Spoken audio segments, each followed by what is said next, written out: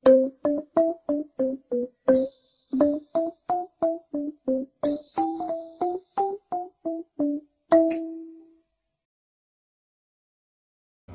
ဟံကိလေသာအကုန်ကင်း၍ငြိမ်းတော်မူသောမြတ်စွာဘုရားနောက်ကိလေသာဆိုတာစိတ်ကိုပူလောင်အောင်နောက်ရှုမြိုက်တတ်တဲ့လောဘဒေါသမောဟမာနအိတ်တာမစ္စရိယဒါတွေကိုကိလေသာခေါ်တာဟုတ်လားအဲ့ဒါတွေကစိတ်ကိုပူပန်စေတတ်တယ်အဲ့ဒီအပူတွေမြတ်စွာဘုရားတန်တမှာမရှိလို့ပဂရိ ငြိမ်းတော်မူတယ်ပေါ့အဲအဲ့ဒါချဲ့ပြီးတော့လဲနားလည်ကောင်းတယ်ကိလေသာကိုမြတ်စွာဘုရားအညစ်အကြေးလို့ဟောရလဲရှိတယ်အညစ်အကြေးပေသွားတယ်ဆိုလို့ရှိရင်မတန်ရှင်းမှုပေါ့နော်အမြတ်စွာဘုရားစိတ်နှလုံးကြတော့အဲ့ဒီနော်အလိုဆန္ဒမကျေနပ်မှုဒီအညစ်အကြေးတွေကလုံးဝမရှိတဲ့အတွက်ကြောင့်ပဂရိတန်ရှင်းစင်ကြယ်တယ်လို့ဒီလိုလဲအာယုံပြုတတ်ဖို့လိုတယ်ဟုတ်လားအဲကိလေသာအပူကင်း၍ငြိမ်းတော်မူသောမြတ်စွာဘုရားနောက်အတုမရှိသောဂုံကြီးသူတို့ကြောင့်ပူဇော်ထုကိုခေါင်းတော်မူလိုက်သောမြတ်စွာဘုရားတဲ့ ဂုံစစ်မှန်တဲ့ဂုံဆိုတာသီလသမารိပညာကိုပြောတာအဲ့ဒီသီလသမารိပညာစစ်မှန်တဲ့ဂုံမှာအာမြတ်စွာဘုရားကိုမှီတဲ့တတ္တဝါဆိုတာမရှိဘူးဒါအတုမရှိဆိုတာအတုမရှိဘယ်သူနဲ့မှမတူတဲ့ဘယ်သူမှတူလို့မရတဲ့မြင့်မြတ်ဆုံးဂုံတွေမြတ်စွာဘုရားမှာရှိတယ်ပေါ့နော်ကျေးဇူးဆိုတော့သောတော်ကပြောခဲ့သလိုကိုကတရားသိအောင်လုပ်နိုင်ရင်လုပ်နိုင်တဲ့လောက်ချမ်းသာမယ်အဲချမ်းသာရင်ချမ်းသာတဲ့လောက်အော်ဒါမြတ်စွာဘုရားလမ်းညွှန်ထားလို့ငါလှုပ်တတ်တာလှုပ်လို့ ရတာဆိုအဲ့ကြမှာမြတ်စွာဘုရားရဲ့ကိုယ့်ပေါ်မှာရှိတဲ့ကျေးဇူးကပြည့်ပြည့်ဝဝသိပါကိုကလှုပ်မကြည့်သေးရင်တော့သိမသိဘူးကိုနည်းနည်းလောက်တချို့လည်းပဲလောကီမြတ်စွာဘုရားဟောထားတဲ့အဲချမ်းသာကြောင်းနေနဲ့အဲကျေးဇူးတင်တဲ့လူရှိတယ်ဟိုမှာဘုံဘုံလှဲဦးမှာတော့အဲတစ္ဆက်ကတကားတယောက်ဘုံဘုံကျေးဇူးတင်လုံးလို့တဲ့ငကောကသူကအသင်ပြေဘူးစီးပွားရေးလည်းအသင်မပြေဘူးတောက်တာစားတာလည်းရှိတာပေါ့အဲဘုံဘုံတရားတွေနာပြီးတော့อืม ဒီတရားတွေကနိဗ္ဗာန်ရဖို့ဟိုမလုံနိုင်သေးခင်မှာတောင်မှလောကီလိုလည်းပဲချမ်းသာကြောင်းတရားတွေလို့သူကသူ့အတူနားလည်ပြီးတော့လိုက်နာကြည့်တာပေါ့လိုက်နာကြည့်တော့အဲအတောက်စားတွေလည်းကင်းသွားပြီးတော့စီးပွားရေးကိုလည်းအလွန်အဆင်ပြေလာတယ်ပေါ့နော်အဲ့ဒါနဲ့ဘုံဘုံကပြောရတာအဲ့ဒါဘုံဘုံကျေးဇူးမဟုတ်ဘူးဘုရားကျေးဇူးလို့ဘုရားအမ်လောကီလိုလည်းပဲချမ်းသာအောင်ဘယ်လိုနေရတယ်ဆိုတာကိုအသိပြီးအောင်ဘယ်လိုနေရတယ်ဆိုတာပြီးပြီးစုံအောင်သင်ထားတာ ဒါလောကီဘာမှမဟုတ်တဲ့နိဗ္ဗာန်ချမ်းသာတဲ့စာရင်ဘာမှမဟုတ်တဲ့ချမ်းသာပဲရှိသေးတာလေတကယ်လို့တရားကိုတကယ်ကိုဒီဇိုင်းမပတ်လှုပ်သွားလို့တကယ်ချမ်းသာအစစ်အမှန်ကိုရပြီဆိုရင်အဲ့ဒီကြတော့မှတကယ်ကြီးသူတင်ပါလို့အခုတင်တဲ့ကြီးသူတင်တာအပေါ်ယံပဲရှိသေးတယ်လို့အဲအဲ့လိုမျိုးမြတ်စွာဘုရားရဲ့ဂုဏ်မြတ်စွာဘုရားရဲ့ကျေးဇူးဟာအတုမရှိဘူးပေါ့နော်ဒါကြောင့်မြတ်စွာဘုရားပူဇော်တိုက်တယ်မြင့်မြတ်လို့လည်းပူဇော်တိုက်တယ်ဒါမြတ်စွာဘုရားရဲ့ရှုတော်ဘက်ကကြည့်ရင်မြင့်မြတ်လွန်းလို့ပူဇော်တိုက်တယ် ပူဇော်တဲ့လူဘက်ကရှုတော်ကကြည့်မယ်ဆိုရင်လည်းပဲပူဇော်လိုက်လို့ရှိရင်ကိုပူဇော်လိုက်တဲ့စိတ်စေနာကအလွန်မြင့်မြတ်တဲ့အတွက်ကြောင့်ကိုပူဇော်ရတာနဲ့မကာမိအောင်ကိုအချိန်ပေးရတာနဲ့မကာမိအောင်ပြန်ပြီးတော့အကျိုးရလက်ကကြီးကြီးမားမားရနိုင်လို့လည်းပဲပူဇော်လိုက်တယ်လှုပ်ထိုက်တယ်ဒီအလုပ်ကအချိန်ပေးလိုက်တယ်ဒါပြောတာနော်အဲအရဟံဂုံရဲ့အတိတ်ကိုနှစ်မျိုးအကျဉ်းချင်းလေးမှနော်အရဟံကိလေသာပူကင်း၍ငြိမ်းရတော်မူသောမြတ်စွာဘုရား အရဟံအတုမရှိသောဂုံကျေးဇူးတော်တို့ကြောင့်ပူဇော်ထုကိုခံတော်မူလိုက်သောမြတ်စွာဘုရားဟုတ်ပြီနော်ဟောဘုန်းဘုန်းတို့တမန်တမုဒ္ဒဆက်တော်မှာဟုတ်လား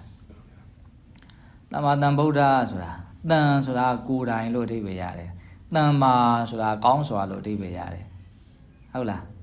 อืมဗုဒ္ဓဆိုတာသိတာပေါ့နော်တန်မာတန်ဗုဒ္ဓတန်မာဆိုတာကကောင်းစွာမှန်ကန်စွာတန်ဗုဒ္ဓဆိုတာတန်ကတလုံးတန်မာတလုံးတန်ကတလုံးဗုဒ္ဓကတလုံးပဲသုံးလုံးပေါင်းထား နော်တန်မာတန်ဗုဒ္ဓတန်မာတလုံးတန်ကတလုံးဗုဒ္ဓကတလုံးအဲ့ဒါကိုပေါင်းထားတာတန်မာဆိုတာမှန်ကန်စွာကောင်းမွန်စွာတန်ဆိုတာကိုယ်တိုင်ဗုဒ္ဓဆိုတာသိတယ်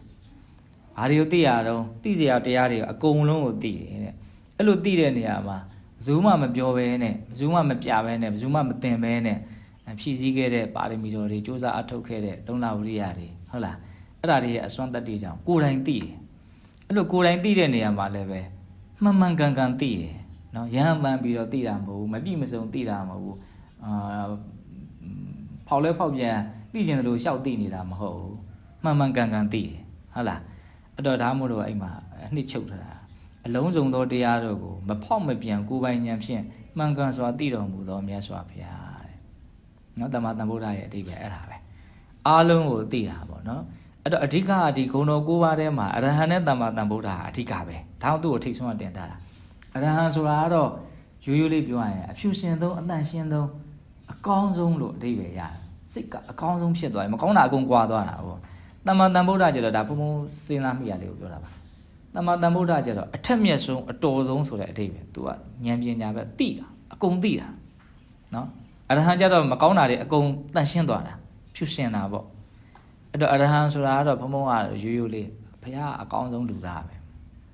တမ္မာတန်ဗုဒ္ဓကျတော့ဆိုတော့ဘယ်လိုပြောဘုရားအတော်ဆုံးလူသားပဲဘုရားလောက်တော်တဲ့လူမရှိဘူးဘာလို့လဲဆိုတော့အကုန်သိလို့အဲအဲ့အဲ့ရအဲ့အဲ့လိုလေးအဲအရှင်းဆုံးနောက်ထပ်ဘဂဝါလာဦးမယ်နော်ဘဂဝါနောက်ဆုံးမှရှိတယ်ဒါမှမဟုတ်ဘုရားရှိခိုးထဲမှာနမောတတ္တဘဂဝါတော်အရဟတော်တမ္မာသမ္ဗုဒ္ဓတ္တအကောင်းဆုံးပဲဆိုတော့အဲ့ဒါကိုပြောတာဘဂဝါကျတော့ များသောအားဖြင့်တော့ဘုံတော်နန္ဒကံတော်နန္ဒညံတော်နန္ဒလို့ပြောကြတာပေါ့နော်ဒီထဲမှာကျတော့အတိပ္ပယ်လေးတစ်မျိုးလေးပြောထားတာတွေ့လိမ့်မယ်အဲ့ဘဂဝါကျမှဖုံဖုံရှင်းပြမယ်ဟုတ်လားအဲ့ဒါအဒီအဓိကဂုံ၃ပါးပေါ့ဒါမှမဟုတ်မြတ်စွာဘုရားကိုမြတ်စွာဘုရားလည်းကဗုဒ္ဓလို့ခေါ်ကြတာလည်းရှိအရဟံလို့လည်းပဲခေါ်ကြတာရှိတယ်အရဟန္တပဲယဟန္တာပေါ့နော်နောက်ဘဂဝါလို့လည်းသုံးတယ်မြတ်စွာဘုရားကိုကျန်တဲ့ဂုဏ်တော်တွေနဲ့နာမည်တက်ပြီးတော့ခေါ်တာရှားတယ်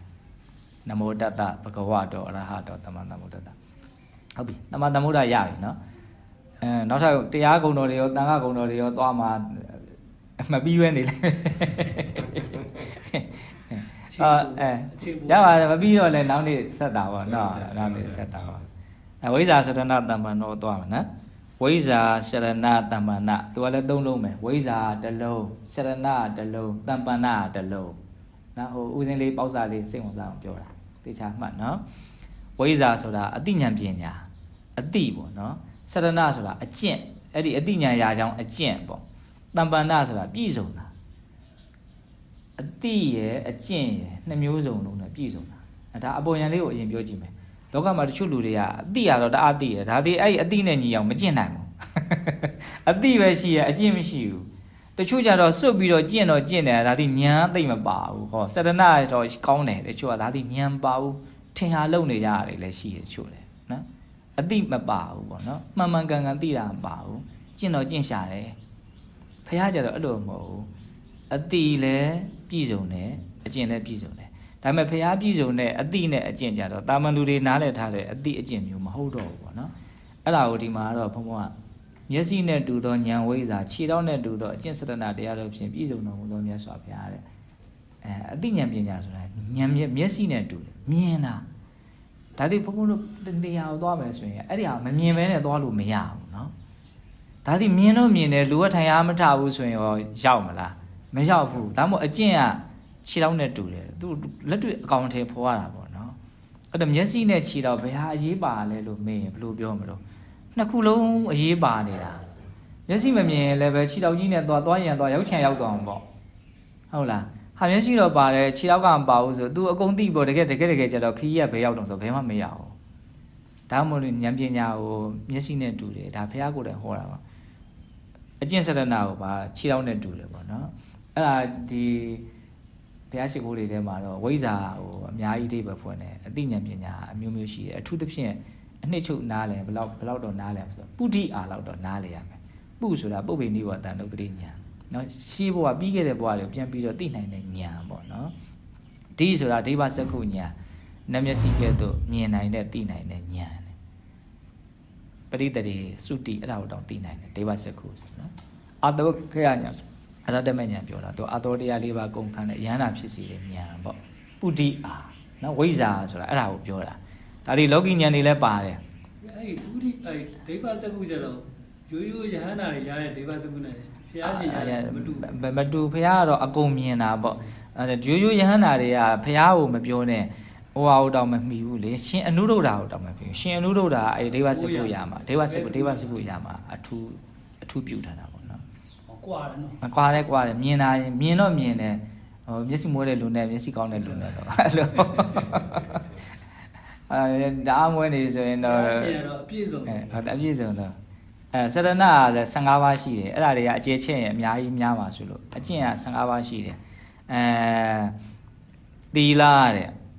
နော်သီလကိုချင်းသီလစရဏတရားတွေပါအိန္ဒရိယတံဝရတဲ့မျက်စိနာနာလျှာကိုစိတ်ကိုစောင့်ကြည့်တာဘောဇနာမတ္တင်ညုတာတဲ့ဟိုတနေ့တခါကြီးကိုဖုံဖုံပြောတဲ့ဟာတွေအစားအသောက်မှာထိမ့်သိမ့်နိုင်တာစောင့်စည်းနိုင်တာနော်ပြီးတော့ဇာဂရိယာနုယောဂတဲ့အဲ့အဲ့အနေနေတာ အဲ့ဒီ၄မျိုးကအရင်လာတယ်စရဏတရား15ပါးထဲမှာအဲ့ဒီ၄မျိုးရဲ့သူတော်ကောင်းတရား9မျိုးရဲ့ဇန်၄ပါးရဲ့အဲ့ဒီ15ပါးကိုအဲ့ဒါစရဏတရား15ပါးလို့ခေါ်တာဝိဇ္ဇာအတိညာပညာဆိုတာပုရိအာရဲ့ဝိပဿနာဉာဏ်ရဲ့မနောမေတိဉာဏ်ရဲ့စေတောပရိယဉာဏ်ရဲ့အိဋ္ဌိဝိဒဉာဏ်ရဲ့ဒိဗ္ဗသောတာဉာဏ်ရဲ့အဲ့ဒီ၅ခုထပ်ပေါင်းရင်ဝိဇ္ဇာဉာဏ်၈ပါးဖြစ်တယ်အဲ့တော့မြတ်စွာဘုရားရဲ့ဝိဇ္ဇာစရဏတမ္ပန္နကလည်းအလွန်ကြီးကျယ်တယ်ဟောနော်အဲ့ဒီကုံ ဝိဇ္ဇာစရဏတမ္ပန္နဒါတော့ဘုံမအချင်းချုပ်ရေးထားမျက်စိနဲ့တူသောဉာဏ်ဝိဇ္ဇာခြေထောက်နဲ့တူသောအချင်းစရဏလောကီလိုလေးကိုရှင်းရှင်းလေးနားလည်တတ်ဖို့လို့ရေးတာပါမျက်စိမပါရင်လည်းလိုရမရောက်ဘူးခြေထောက်မပါရင်လည်းလိုရမရောက်ဘူးอืมအဲ့ဒါကိုစဉ်းစားမိဖို့အဲ့ဒါဒီထည့်ရေးထားနော်မျက်စိနဲ့တူသောဉာဏ်ဝိဇ္ဇာခြေထောက်နဲ့တူသောအချင်းစရဏတရားတို့ဖြင့်ပြည့်စုံတော်မူသောမြတ်စွာဘုရားသုကတသွားမယ်နော်သုကတတဲ့ အဲသုကတလည်းအဓိပ္ပာယ်တအားများတယ်အဲ့ဒီတည်းကဒီအဓိပ္ပာယ်နှစ်ခုဘုံဘုံကြိုက်တယ်သုကတဆိုတာတော့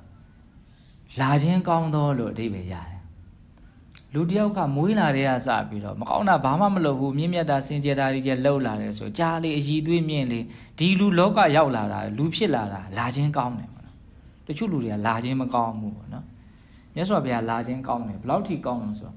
ရှေးဖရားတွေနဲ့တူတယ်တဲ့ရှေးတုန်းကဖရားတွေကလည်းဖရားစုပန်တဲ့အချိန်ကစားပါရမီတွေဖြည့်တပန်တရားလုံးကောင်းတာတွေကိုစိုက်လိုက်မှတ်မှတ်လုပ်နောက်ဆုံးအလွန်ကိုကြာမြင့်တဲ့ကာလဟိုဖြတ်တန်းကောင်းတာတွေလုပ်ရင်းနေပေါ့နော်နောက်အည်အသွေးလုံးဝပြည့်သွားတဲ့အချိန်မှာအတိတုဉဏ်တို့ကိုရပြီးတော့ဘုရားဖြစ်ပါတယ်ပေါ့သူတို့ရဲ့ဘဝတန်တရားမှာဘုရားဖြစ်ဖို့စလုပ်လိုက်ကြတဲ့အားစအမှုအကျင့်တွေဟာအကောင်းတွေကမပြည့်စုံနေတဲ့အတွက်ကြောင့်သူလာခြင်းကောင်းတော့လို့ပြောတာဟုတ်လား အဲ့ဒါဖုံဘလို့ရေးတာရှေးဖရာတို့ညီတို့ကြွလာတော်မူခြင်းကောင်းတော်မူသောမြတ်စွာဘုရားအဲ့ဒီစာလေးကတူပြီမလို့ကိုယ်အဓိအဓိပ္ပာယ်ကတော့အဲ့လောက်ထိတွေးတဲ့ရတယ်ပေါ့နော်ပြီးတော့နောက်နောက်သုက္ကတာအဓိပ္ပာယ်ပါတော့ပြောသမျှပြုသမျှအလုံးအကောင်းဆုံးသာဖြစ်တော်မူသောမြတ်စွာဘုရားတဲ့ညာသောဖြင့်သုက္ကတာကိုစကားကောင်းကိုဆိုတယ်ဆိုတော့ဘုံဘုံတို့ခဏခဏဟောပါတယ်လေတတ္တဝါတို့ကအကျိုးများကြောင့်ဟုတ်မှန်သောစကားကောင်းကိုသာမိတ်ဆိုတော်မူသောမြတ်စွာဘုရားဒါကြတော့သူကအပြောတယ်မကဘူးပြုသမျှအကောင်းဆုံး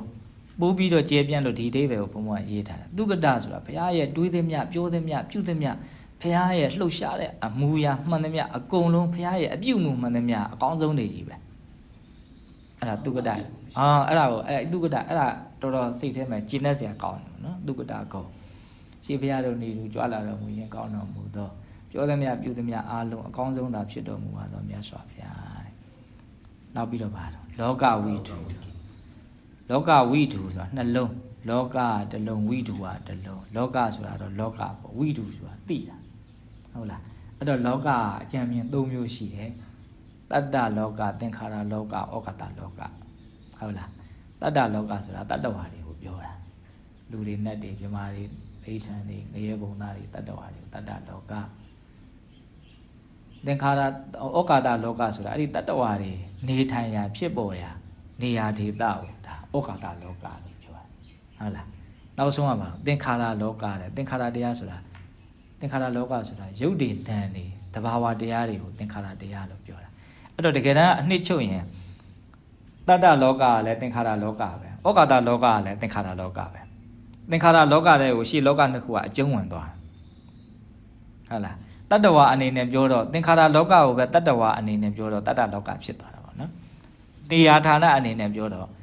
ဩကာသလောကဖြစ်သွားတကယ်တမ်းတတ္တလောကဆိုတာလည်းသင်္ခါရလောကပဲဩကာသလောကဆိုတာလည်းသင်္ခါရလောကပဲသင်္ခါရလောကအဓိကပါနော်လောကဆိုတဲ့စကားလုံးလေးကိုပဲနည်းနည်းတော့နားလည်ဖို့လိုသေးလောကဆိုပါဠိစကားလောကဆိုတာလုဇတိပလုဇတိဒီလောကောတယ်ဖယုဖရဲ့ဗျံပရာအမြဲတမ်းပြည့်စည်နေလို့လောကလို့ခေါ်တာတဲ့အ ခုယောဂဘိုးတွေဖြစ်တယ်မြင်ကြည့်ပါနော်ပြက်မှာပဲလေဘုံဘုံတို့အကုန်လုံးပြက်ကြမှာပဲလေရှားထားတယ်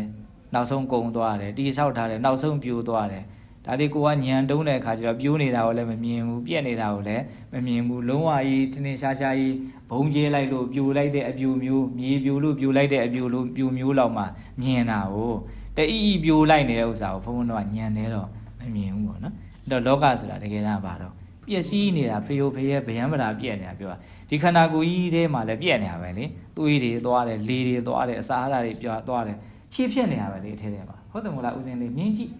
စားလိုက်တဲ့ထမင်းကစောစောကနဲ့တူအောင်မလားခုပိုက်ထဲရောက်နေတာဟအတူပြီးရင်စွန့်ထုတ်ပြလိုက်အောင်ပါနောက်ထပ်ထပ်စားအောင်ပါအဲရှူလိုက်တဲ့လေဝင်သွားတဲ့လေခန္ဓာကိုယ်ကယူလိုက်တယ်ဟာကာဗွန်ဒိုင်အောက်ဆိုက်တွေပြန်လာတယ်အထက်ထဲမှာဒါဘာလုပ်နေတော့ပြောင်းလဲပြည့်စည်ရင်းနဲ့သွားရနေပေါ့နော် အဲ့ဒါမသိမသာရုပ်ကဘာဖြစ်လာတော့အဲ့လိုလုပ်ရင်းနဲ့ယင့်လာချွတ်ယွင်းလာတယ်ဟောနားလာတယ်နောက်ဆုံးဘာဖြစ်တော့ပျက်စီးသွားမှာပဲဘုံဘုံတော့အဲ့တော့သေမပဲပျက်စီးတယ်မြင်တာအချိန်တိုင်းပျက်စီးနေတာကိုမမြင်ဘူးပေါ့နော်အဲ့တော့လောကဆိုတာဘာလဲ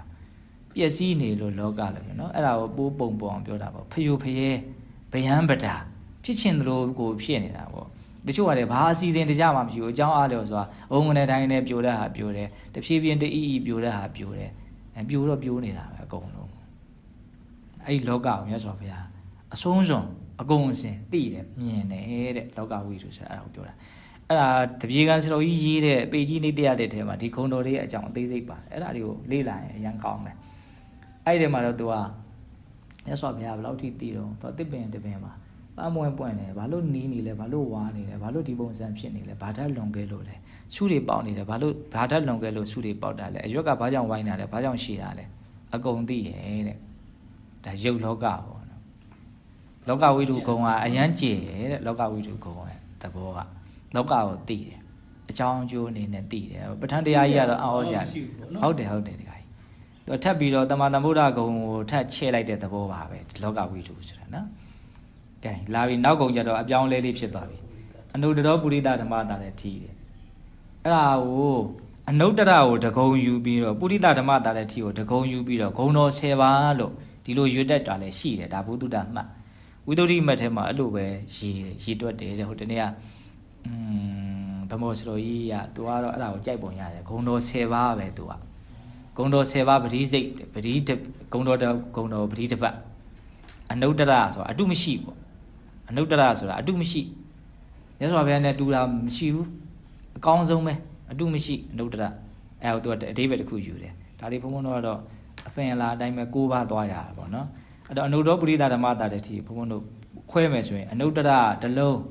ပုရိသတစ်လုံးဓမ္မတစ်လုံးတာရတိယတစ်လုံးအဲဓမ္မရေးတာမှားနေတယ်ဒီမှာဓာတ်ဥချိုက်ကြီးနေဓာတ်ဥချိုက်မဟုတ်ဘူးမှာဓာတွေး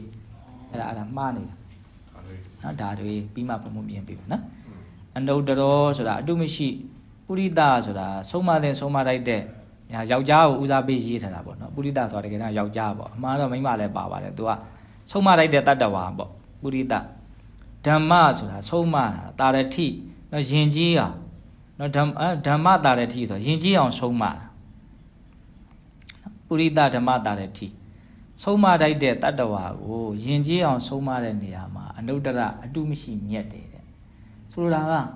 တတ္တဝါတွေကိုကောင်းအောင်နော်ဆုံးမတဲ့နေရာမှာပြောတဲ့နေရာမှာလမ်းညွန်တဲ့နေရာမှာမြတ်စွာဘုရားအသာဆုံးပဲလို့ပြောတယ် အဲ့ဒါဖုံဖုံလို့ရေးထားတယ်ဒီမှာဆုံးမလိုက်သောတတ္တဝါတို့ကိုကိလေသာကင်းယဉ်ကျေးခြင်းတို့ရအောင်ဆုံးမတော်မူတဲ့အတုမရှိအမျက်ဆုံးဖြစ်တော်မူသောမြတ်စွာဘုရားကိလေသာတို့ကြောင့်ဖုံဖုံတို့စိတ်တရားရိုင်းတာပေါ့နော်အဲ့ဒီကိလေသာကိုကင်းယဉ်ကျေးတော်တာပဲစိတ်ကလောဘနဲ့နဲသလောက်ယဉ်ကျေးတယ်ပေါ့ဒေါသနဲ့နဲသလောက်ယဉ်ကျေးတယ်ပေါ့နော်အဲ့ဒီလိုမျိုးကောင်းမွန်တဲ့ပုံကိုတယောက်ဖြစ်သွားအောင်နော်ဆူဆုံးမတဲ့နေရာနီလန်းပေးတဲ့နေရာမှာလမ်းကြောင်းပြပေးတဲ့နေရာမှာမြတ်စွာဘုရားကိုမှီတာမရှိဘူးဆိုတဲ့အတိတ်ပဲပဲ အကောင်းဆုံး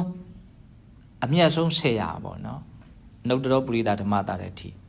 ဟုတ်လားအောက်ကတတ္ထာဒေဝမနုဿာနဲ့နဲ့ तू ကတွဲပြီးတော့သွားရင် तू ကကောင်းတယ်တတ္ထာဆိုတာဆရာလို့အဓိပ္ပာယ်ရဒေဝမနုဿာနာဆိုနတ်လူလူတွေနဲ့တည်းရဲ့ဆရာအပေပုံတော့တာအာကြီးအဓိကမထားတော့တဲ့သဘောပေါ့မြတ်စွာဘုရားပွင့်လာဆိုတော့အပေပုံသားတွေတော့တိတ်ပြီးတော့အကျိုးခံစားရတာမရှိဘူးနည်းနည်းလောက်ပဲပေါ့အဓိကကတော့ အဓိကလေဒီဆိုကြီးရေးတာတော့အဓိကလူတောင်အဓိကမထားဘူးပြနတ်နတ်ကိုအဓိကထားတာဖះပွင့်လာတာလူရဲ့ပွဲမဟုတ်ဘူးနတ်တွေရဲ့ပွဲတဲ့ဒါမှမဟုတ်ဓမ္မစကြာဟောတော့18ဂတိတဲ့ကဲတပွဲတပွဲတချို့တပွဲတပွဲတရားပွဲတပွဲတွေကိုဂရေနဲ့တန်းနဲ့ချီပြီးတော့နတ်တွေပြမာတွေအကျိုးတရားရလူအရေးအတွက်ကနတ်ပြမာအရေးအတွက်ကိုဘယ်လိုမှမမီဘူးဒါမှမဟုတ်ဖះပင့်လာတာလူတွေရဲ့ပွဲဆိုတာလေနတ်တွေရဲ့ပွဲဆိုရင်ပိုမှန်တယ်လို့ဆိုတော့ကြီးရလို့ရှိတယ် ဒေဝမနုဿာနံဒေဝဆိုတာနတ်မနုဿာနံဆိုတာလူဒေဝတတ္ထာဆိုတာဆေရနောက်အောက်ကဂုံတော်နံပါတ်ခွန်ဂုံတော်နဲ့ပေါင်းပြောနေတာနော်ဟုတ်လားဒါစီအဲ့တတ္ထာဒေဝမနုဿာနံဆေရဆိုတဲ့အဓိပ္ပာယ်ကိုဟောတယ်လို့တတ္ထာကသူကရှည်သွားကောင်းဆောင်ဆိုတဲ့အဓိပ္ပာယ်လည်းဟောတယ်ဒါကြောင့်မို့လို့အပေါ်ကဟာဆေရရဲ့အဓိပ္ပာယ်ကိုရည်ညွှန်းမိသားဖြစ်နေလို့အောက်ကဟာလေးကိုဘုံဘုံကအဲတတ္ထာဒေဝမနုဿာနာတန်တရားခရီးသောတတ္တဝအများတို့ဤရှေးသွားကောင်းတော်ကြီးဖြစ်တော်မူသောမြတ်စွာဘုရား လမ်းညွန်ပေးနိုင်မှတော့သူကရှေ့သွားပေါ့နော်ဘုန်းဘုန်းတို့ရဲ့ခေါင်းဆောင်ပေါ့သူ့ရဲ့နောက်ကိုလိုက်ရင်မမှားနိုင်ဘူးဆိုတဲ့အဓိပ္ပာယ်အဲ့တော့အဘောကနုဒ္ဓပရိသဓမ္မတရတိယဆုံးမလိုက်သောတတ္တဝါတို့ကိုကိလေသာကင်းခြင်းကြည်ခြင်းတို့ရအောင်ဆုံးမတော်မူအပ်၌အတုမရှိအမြတ်ဆုံးဖြစ်တော်မူသောမြတ်စွာဘုရားအောက်ကတတ္ထာတိပမနုဿာနာတန်တရားခီးသောတတ္တဝါအများတို့၏ရှေ့သွားကောင်းတော်ကြီးဖြစ်တော်မူသောမြတ်စွာဘုရားဒါတွေကိုဘုန်းဘုန်းတို့စဉ်းစားဆင်ခြင်နေစိတ်ကကိလေသာဖြစ်လို့မရဘူး သူကမြင့်မြတ်မှုကိုစဉ်းစားနေတော့မြင့်မြတ်တဲ့စိတ်ပဲဖြစ်နေဒါမှဗုဒ္ဓနုတ္တိနဲ့စိတ်ကိုထုံထားလို့တကယ်အလေးအကျင့်များလာပြီတချို့ဆရာတော်ကြီးဆိုပရိစိတ်တာပေါ့ခေါ်တာပေါ့နော်ဒီဂုံတော်တွေနဲ့ပဲသူတို့စိတ်ကနေနေတယ်အဲ့ဆိုရင်သူကဒီစိတ်ကအလွန်မြင့်မြတ်တဲ့အလုပ်ကိုလုပ်နေတဲ့အတွက်ကြောင့်ဘုံအလွန်ကြီးတယ်ဘုံကံအလွန်ကြီးတယ်ဖြူစင်တယ်ပုံညဆိုတာဖြူစင်တဲ့ကောင်းမှုကိုပြောတာစိတ်ကလေးကအလွန်ဖြူစင်တန့်ရှင်းပြီးတော့ သူတို့စိတ်ထဲမှာကြံစီတာတောင့်တတာတွေကပြည့်စုံတာပဲများတော့ဖះကုံတော်ဆိုဘုံကံအလွန်ကြီးစေတယ်တောင်းမို့တချို့လောကီမျှော်ကိုပြီးတော့ပရိစိတ်ကြရှိရလေလူတွေဆိုရင်ခင်ဗျအန်တရကင်းအောင်ဘုံကြီးအောင်ဒါဖြစ်လဲဖြစ်တာပဲသူစိတ်ကအဲ့ဒီအချိန်မှာဖြစ်နေတာဒီမြင့်မြတ်တဲ့အရာတွေကိုပဲကြက်စားနေတာစိတ်ကဒီအကောင်းဆုံးကိုအမြင့်ဆုံးကိုသူကကြက်စားနေတာဒါမှဗုဒ္ဓနုတ္တိကိုထိတ်ထိတ်တန်းတင်ထားတာပေါ့သူကပြီးတော့ဘာလာမလို့ ဗုဒ္ဓနော်ဗုဒ္ဓရှစ်ခုမြောက်ဂုဏ်တော်နော်ဗုဒ္ဓဆိုတာသိတာအဲ့ဒါသူကအကျေအတိပဲဖွင့်ထားတာတော့အတိမှန်တယ်မြဗုဒ္ဓဂုဏ်ထဲမှာထည့်တာအဉဏ်တော်16ပါးအဉဏ်တော်10ပါးမဆုံးနိုင်လောက်အောင်စာရီထဲမှာဖွင့်တယ်အဲ့ဒီဗုဒ္ဓနဲ့ပတ်သက်ပြီးတော့အဲဒါသည်သူ့ရဲ့လူရင်းအတိပဲကဗုဒ္ဓဆိုတာကိုယ်တိုင်လည်းသိတယ်သူများကိုလည်းသိစေတတ်တယ်ကိုသိုံနဲ့ရက်နေတာမဟုတ်သူများကိုသိအောင်လည်း လုပ်တတ်တယ်ဗုဒ္ဓရဲ့အတိပဲကကိုလည်းသိတယ်သူများကိုလည်းသိအောင်လုပ်နိုင်တယ်အာပန်းလေးတွေပွင့်တယ်အာအကောင်းဆုံးအလှဆင်နော်ငုံနေုံနဲ့သူမရသေးဘူးပွင့်ပြီဆိုတော့ပန်းပွင့်လေးသူအတ္တိတိပဲလည်းရှိတယ်လူတယောက်အိပ်ပျော်အားနေပေါ့နိုးထလာတဲ့အတိပဲလို့လည်းပြောလို့ရတယ်ဗုဒ္ဓအကုန်အတိပဲလေးအဲ့လိုရှိတယ်ဒါသည်အဓိကလူရင်းကဗုဒ္ဓဆိုတာသိတာပဲသိအကုန်သိသိုံနေမကောက်သူများကိုလည်းသိအောင်ပြောတယ် အဲ့ဒါကိုသူသစ္စာ၄ပါးကိုအဓိကထားပေါ့သစ္စာ၄ပါးဆိုတော့သူအရေးကြီးဆုံးတရားဖြစ်တဲ့အတွက်ကြောင့်သူ့ကိုသိစေလိုက်ရင်ပြီးသွားတာဟိုအဲ့ကြောင့်မလို့သစ္စာ၄ပါးအမှန်တရားတို့ကိုကိုယ်တိုင်လည်းသိမြင်တပါးသူတို့အားလည်းသိစေတော်မူတတ်သောမြတ်စွာဘုရားနော်ဗုဒ္ဓပြီးတော့နောက်ဆုံးကြတော့ပါတော့ဘဂဝါဘဂဝါဆိုတာစောစောပြောရတဲ့နည်းနည်းပြည့်ပြည့်စုံနော်ရုပ်အစဉ်အပြင်လည်းပြည့်ပြည့်စုံတယ်ဟော ရုပ်ကအရင်စလာဥပရိယုတ်ကအရင်စလာအဲ့ဒါကိုဂုံနေပြောဆိုဘုံတော်နန္ဒကံတော်နန္ဒညံတော်နန္ဒတကူတော်နန္ဒအသေးတော်နန္ဒတချို့ပြောကြရရှင်လေတိတိဂုံဘုံဘုံဘုံတော်ထဲမှာနော်ကြက်သေးရှိတယ်ရုပ်ရှင်းကအနေနဲ့ဒါလောကီဂုံနေအဲ့ရစလာနော်လက္ခဏာတော်ကြီးငယ်အသွေးသွေနဲ့အဲအဲ့ဒီဘုရားရှိခိုးလေးလည်းအခုရေးထားတယ်အဲ့ဒါလေးလည်းဒီလာတုံးလေးကိုအကျိုးရှိတော့အောင်လို့ ရေးအဲ့ဒါဦးစင်းလေးကိုအဲ့ဒါလေးလည်းရေးပေးအောင်လို့တောင်မြဆိုကြီးရေးထားတော်တော်ကောင်းပါတယ်အဲ့ဒါလေးလည်းပြီးမှအထိပ္ပယ်နည်းနည်းရှင်းပြအဲ့တော့ဘဂဝါဆိုတာအဖက်ဖက်ကပြည့်စုံတာလောကီလိုအကုန်ပြည့်စုံတာအချမ်းရံနေနဲ့လည်းပြည့်စုံတယ်ဒီရုပ်လက္ခဏာတွေလည်းပြည့်စုံတယ်အစိတ်ပိုင်းဆိုင်ရာကြတော့အသိဉာဏ်ပညာတရားအကုန်ပြည့်စုံတယ်နော်အကုန်တဟုတ်တဟုတ်တယ်ပါဖက်ပဲတကယ်တမ်းဘဂဝါကုံဆိုအဲ့ဒါပဲတကကြီးပါဖက်ပဲနော် အဲ့ဒါကိုသူကဘာတော့ဘုံဘုံအကြောင်းတရားလေးပါရေးလိုက်တာပေါ့နော်ပြုကျင့်ခဲ့သောပါရမီတော်အနန္တတို့ကြောင့်လောကီလောကုတ္တရာကောင်းမြတ်သောဂုဏ်အဖျားဖျားတို့ဖြင့်ကောင်းစွာဂုဏ်လုံးပြီးပြည့်စုံတော်မူသောမြတ်စွာပြည့်စုံတယ်လို့တင်ကိုမဟုတ်ဘဲနဲ့ရှေ့ကပြီးလေးပါထည့်တာပြီးပြည့်စုံတယ်မလိုတော့ဘူးပေါ့မဘာမှမကြံတော့ဘူးပေါ့ဘဂဝါဂုံရဲ့အတိတ်ပဲအဲဘဂဝါဂုံကိုပရိစိတ်ရင်ဘုံကြီးရယ်ဆိုပြီးတော့တချို့ယူဆတာရှိရလေအဲသူပြည့်စုံတာကိုစဉ်းစားတာဟိုသူစိတ်ကမြတ်စွာဘုရားရဲ့တန်တာမှာ လောကီလိုလည်းပြည့်စုံတယ်လောကုတ္တရာလိုလည်းပြည့်စုံတယ်အဲ့တော့ तू ကဒီခုံတော်ကိုပါအလွန်ကိုကျွမ်းကျင်အောင်လုပ်တာစိတ်ထဲမှာကျွမ်းကျင်မှကိုယ်စင်ကျင်ပြီးစဉ်းစားပြီးဆိုတော့အစီအစဉ်ကြစဉ်းစားလို့ရတာစစရင်စိတ်ထဲမှာနားမလည်သေးဘူးဆိုဘုန်းဘုန်းတို့ဘယ်လိုလုပ်ဆင်ကျင်မလို့အဲ့ဒါကိုပြောတာအဲ့တော့ဒီအကျဉ်းမြင့်လေးအခုဒီရေးထားတာလေးလောက်ကိုကျွမ်းကျင်မယ်ဆိုရင်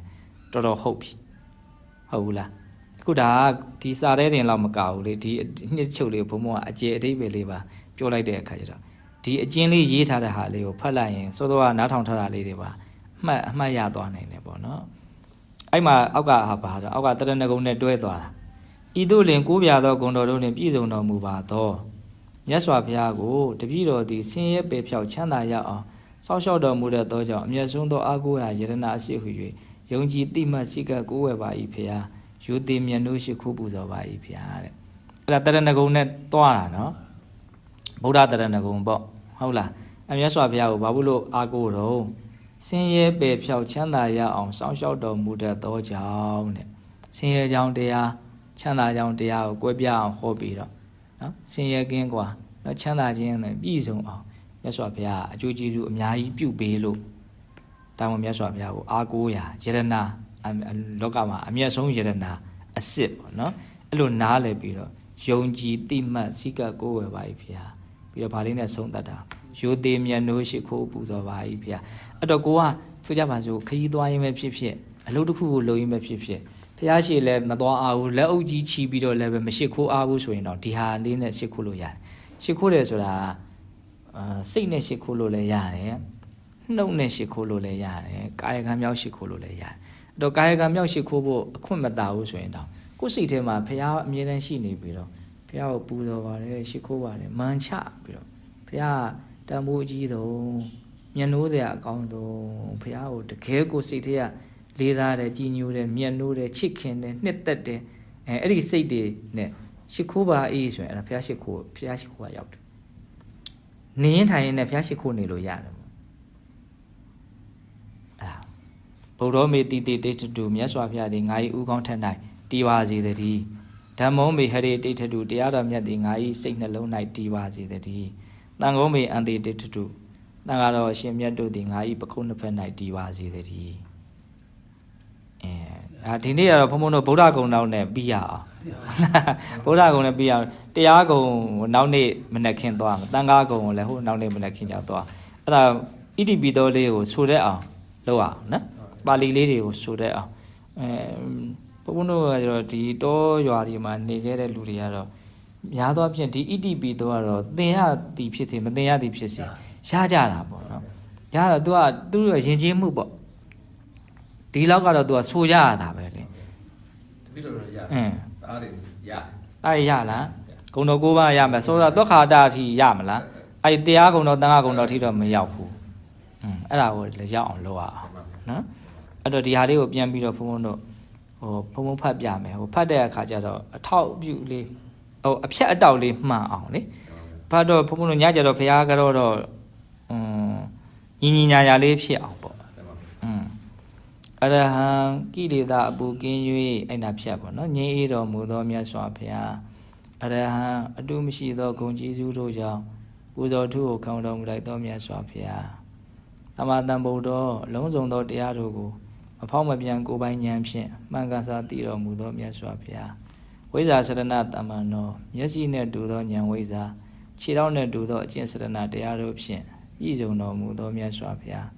ဒုက္ကတောရှိဖျားတို့နီးသူကြွလာတော်မူခြင်းကောင်းတော်မူသောမြတ်စွာဘုရားသူကတော့ပြောသမျှပြုသမျှအားလုံးအကောင်းဆုံးသာဖြစ်တော်မူပါသောမြတ်စွာဘုရားလောကဝိတုလောကအားလုံးကိုသိမြင်တော်မူပါသောမြတ်စွာဘုရား နုတ္တရောပုရိသဓမ္မတာလည်းထိဆုံးမလိုက်သောတတ္တဝါတို့ကို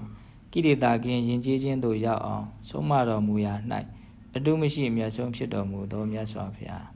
တတ္ထာဒေဝမနုဿာနံတန်သေးယခยีသော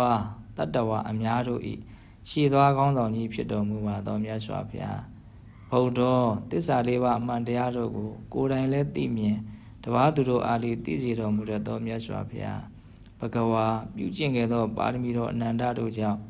လောကီလောကုတ္တရာကောင်းမြတ်သောဂုဏ်ဖြာဖြာတို့ဖြင့်ကောင်းစွာဂုဏ်လုံးပြည့်ပြည့်စုံတော်မူပါသောမြတ်စွာဘုရား